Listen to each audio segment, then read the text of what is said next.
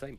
I used Wow, to wow. read the lyrics to "Living on a Prayer" like a kind of like, like I was kind of doing like a political speech. You know, like how politicians always like reference like, and Yeah. this goes. You know, so it's like Tommy used to work on the docks.